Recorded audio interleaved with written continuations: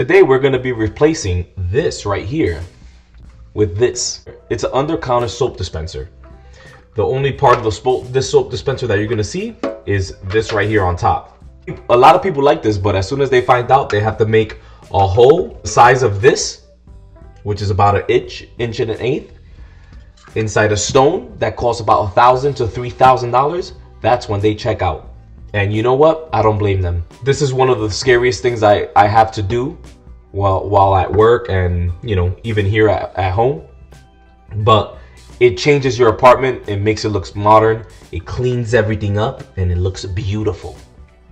One thing I want to tell you if you're planning on attacking this project is make sure you buy good bits. You do not want to buy a cheap set of bits from Amazon, for example. Start making this hole with that bit and then the bit just crap out and you can't finish the project and you have to order more. Or the bit is doing its job and it wobbles and it breaks and now you scratch your stone in a certain way that you can't go back. This is an expensive part of your kitchen. You want to make sure you buy a good bit. They're not a sponsor, but I recommend the Milwaukee ones because these although majority of the people that are watching this video, you're only going to be doing this in one stone. I still recommend spending the 15. Sometimes it could go up to 30 bucks depending the size. I recommend buying it because it's going to make everything simpler. It eliminates that fear that you have of, you know, damaging a $4,000 stone, more or less. and I'm going to be making a inch and a quarter hole in this stone uh, it calls for an inch, but I think uh, uh, giving it a quarter of an inch play is best. I don't want to make the hole perfect and then it doesn't go straight down. If you give it a little bit of play so it could go left and right, up and down, I think it's better. So that's why I'm using the inch and a quarter. So let's start it now.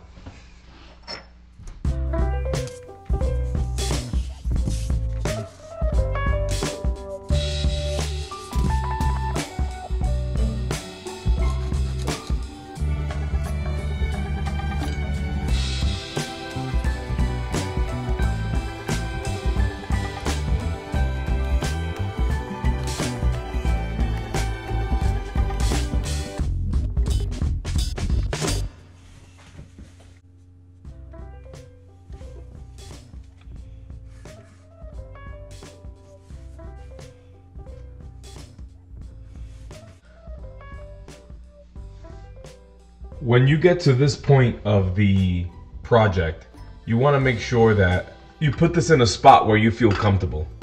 So for example, I'm putting it right here, which is two and a half inches in, halfway between these two points. And from what I'm looking at, it looks fine, but I rather have it, it more forward, just so when you press it, whatever the residual there is, it goes straight into the sink and you guys look I think I prefer that better. Let me move this forward. Doesn't make a difference. So I might just put it there instead of in line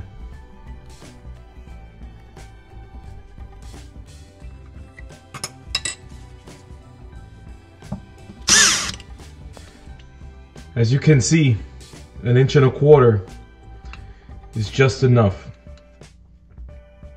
So you could have that play of moving left, right, up, down, wherever you want it. One inch is perfect. I don't really want perfection to be honest. I want the wiggle room. So that's why I'm going with an inch and a quarter.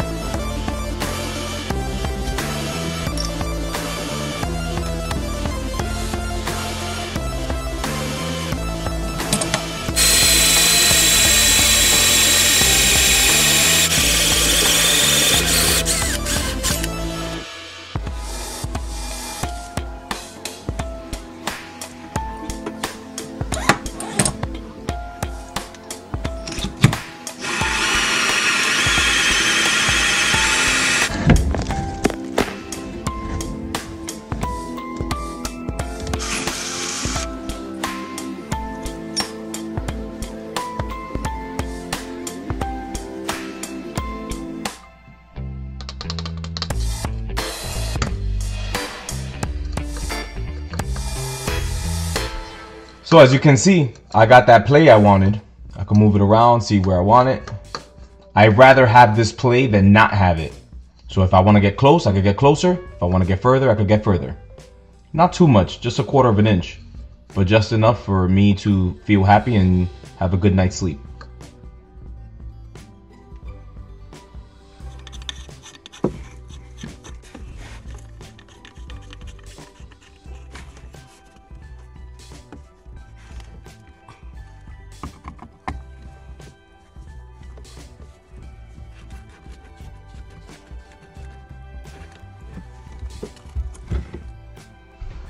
So tell me, what do you prefer? This or that?